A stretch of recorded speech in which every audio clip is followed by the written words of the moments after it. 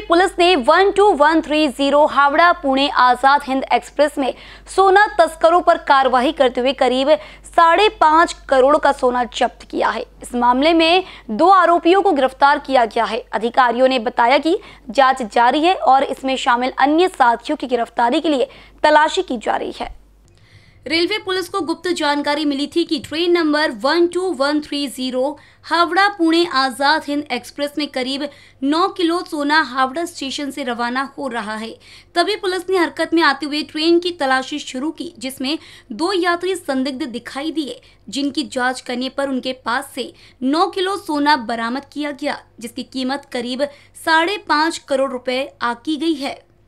जैसा डीआरआई के एजेंसीज के द्वारा हमें एक इंटेलिजेंस इनपुट दिया गया था कि आज़ाद हिंद एक्सप्रेस से हावड़ा से नागपुर में गोल्ड की तस्करी हो रही है।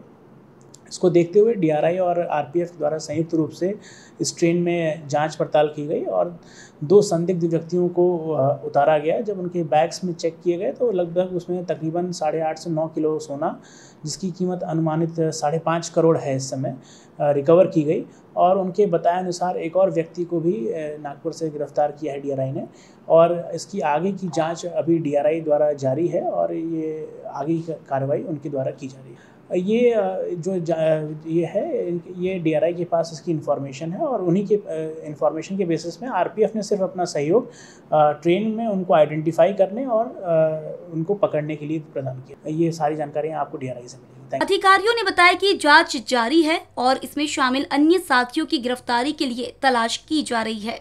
कैमरा पर्सन अखिलेश भारद्वाज के साथ प्रकाश बीसीएन न्यूज़ नागपुर।